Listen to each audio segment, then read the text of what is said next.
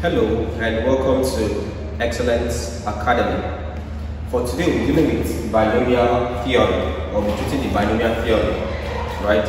The binomial theory gives the general rule for the expansion of terms involving the sum and difference of several terms raised to a particular index or power or degree. When it comes to solving problems on binomial theory or binomial expansion, there are three major ways of solving problems involving um, binomial expansion. This includes number one, the general method, the general expansion method,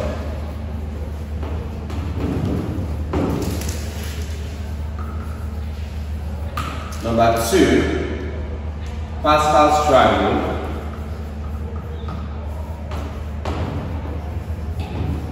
Number three, combination method.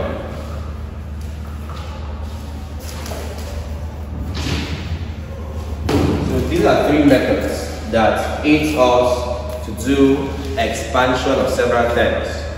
And whether they are adding or subtracting, of course, raised to a particular index, whether it's a real number or a fraction. Alright, so we'll discuss each of these methods one after the other. Let's start with the first method known as the general expansion method.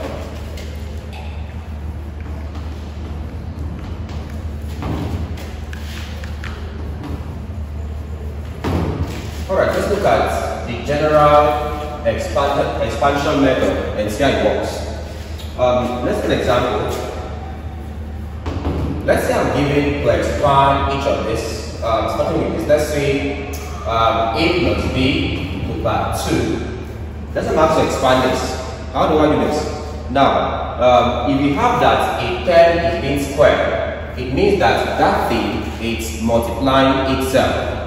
So if I have a plus b being squared, it means a plus b is multiplying itself. Now when I have things like this, alright, a 10 in a bracket, multiplying another 10 in a bracket, how do I expand? The concept is this, I will use each of the terms in the first bracket to multiply all the terms in the second bracket. Alright, so this is like general idea behind uh, general expansion method. Okay? Use each of the terms in the first bracket, multiply all the terms in the second bracket. So if I look at the first bracket here, my first term is A, so it becomes this term, multiplies everything in the second bracket, that's A plus B. Take the second term in the first bracket, that's plus B. Multiply everything in the second bracket. Okay, the second term in the first bracket, multiply everything in the second bracket. A plus B. Alright. Expand this is equal to A times A gives you A squared plus A times B gives you AB plus B times A gives you AB. Alright? Although it's B times A, I'll arrange it according to alphabetical order. That means I'll place A before B. So it becomes this gives you AB plus B times B gives you B squared. Alright. This is now equal to, I will now collect like terms. I can see A here, I can see A here. Coefficient here is 1, coefficient here is 1. So it becomes 1 plus 1. That gives you 2AB. Bring down this term plus B squared. So I have this after expansion. What if this was root over 3? So for a simple example, let's take the same thing, um, A plus B raised to the third power. What do we had this? How do you expand this? Now we know that we know that uh, let's say x cubed or something else. Let me say n cubed is equal to n times n times n. And of course, this can be expressed as I'm having m. We know that n times n is equal to m squared. So n cubed same thing as n times m squared. Use this concept here. It means that a plus b cubed can be expressed as a plus b multiplying a plus b, multiplying a plus b.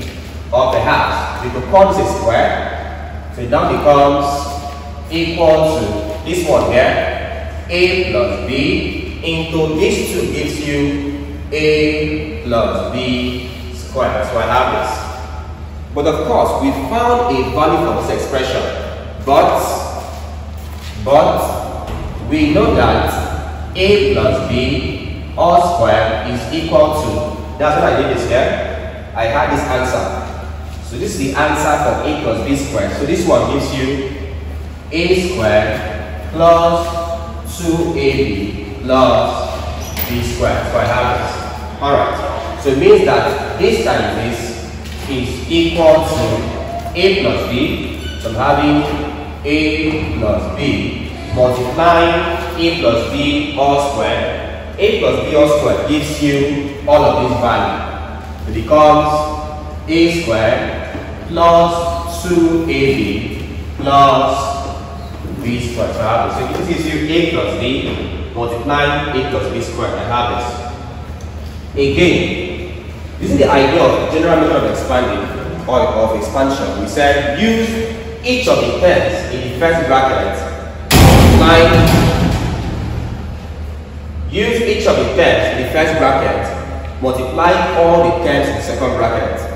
My first term here is a. Multiply all of this. That's a squared plus 2ab plus b squared use the second term here plus b becomes plus b into this a squared plus 2ab plus b squared for this. Now expand this. This is equal to a times a squared gives you a cubed plus a times 2ab gives you 2. a times a is a squared b plus a times b squared gives you a b squared plus b times a squared. Said according to alphabetical order, take A before B. So because of that, A squared B, so A squared B plus B will multiply to give you B squared. So becomes 2AB squared, 2AB squared plus B times B gives you B cubed. So I have this.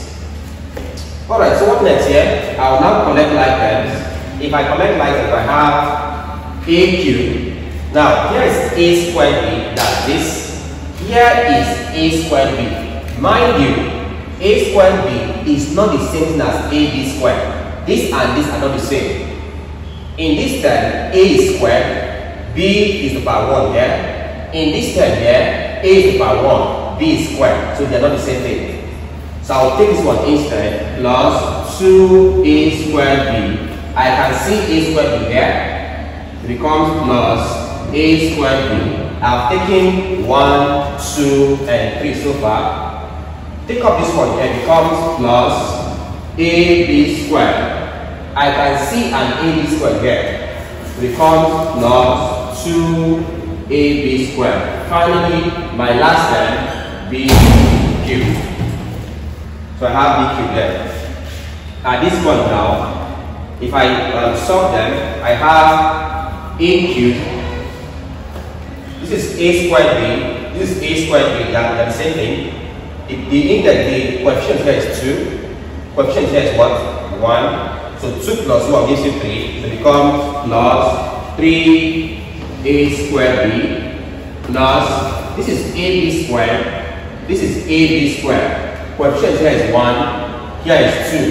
1 plus 2 gives you 3ab squared. Finally, I have b cubed. So I'm having plus b cubed. So after expansion, I have a cubed plus 3a squared b plus 3ab squared plus b cubed. So here's my term after expansion. Let's look at one last problem on general expansion method. Let's look at something else.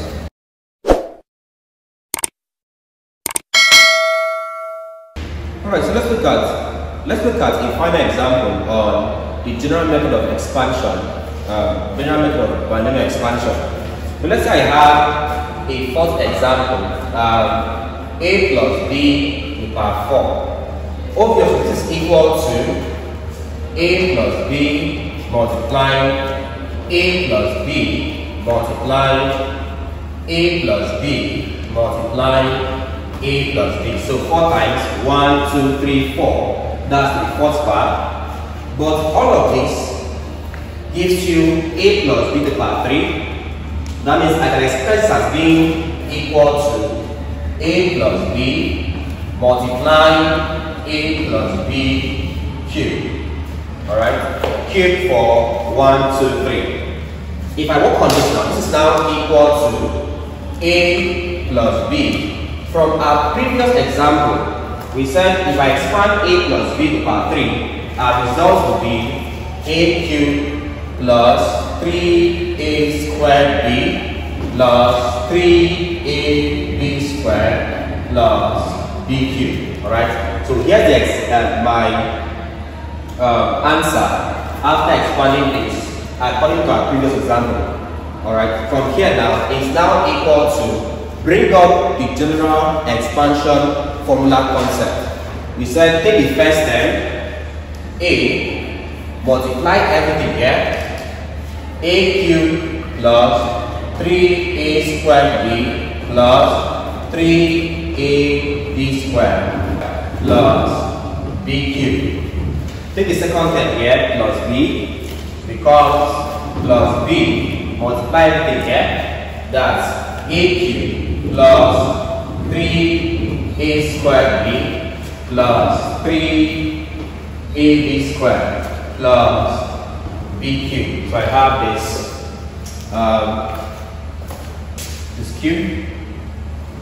Alright, so expand this. What do I get? This is equal to A times A cubed, A to the power 4, plus this multiplying this, that gives you 3. A times A squared gives you A cubed B plus 3 into A times A gives a squared b squared plus a times b cubed gives a b cubed plus a cubed times b gives a cubed b plus 3a squared 3a squared b times b is b squared plus 3a into b times b squared gives b cubed plus finally b times b cubed is b over 4. So I have this. Alright, so collect like terms. If I collect like terms, I have this one first. a to the power 4 plus, so I'm taking this one off. Next, I'm having a cubed b term. I'm having 3a cube b. I've taken this. Look for the next a cube b term. That's this one here. So I'll take this one here. a cube b. So plus um, a cube b. Okay. Next up plus my next term is a squared b squared. That's this. Okay, have 3a squared b squared. 3a squared b squared. Look for the next a squared b squared term. That's this one here. This um, plus 3a squared b squared. My next term will now be ab cubed. That's this one here. Plus ab cubed. Look for the next ab cubed term. That will be this. So it becomes plus 3 ab cubed plus finally b to power 4. So I have this. Alright, so collect like terms and sum them is equal to having a to power 4 plus, yes, a cube b, yes, a cube b, so they can add up 3 plus 1 here, that gives you 4 a cube b. Next up, I'm having plus, this is a squared b squared, yes, a squared b squared, same thing, they can add up 3 plus 3 gives you 6, becomes 6 a squared b squared plus I have AB cubed, AB cubed. We can add up. 10 here is 1, coefficient is 1, 10 here is 3. 1 plus 3 gives you 4AB cubed plus finally I have B to the power 4. That gives you B to the power 4. So this becomes the result of expansion. A to the power 4 plus 4A cubed B plus 6A squared B squared plus 4AB cubed plus B to the power 4. That's the result. Right, so look at how to solve this um, using Pascal's triangle in our next class.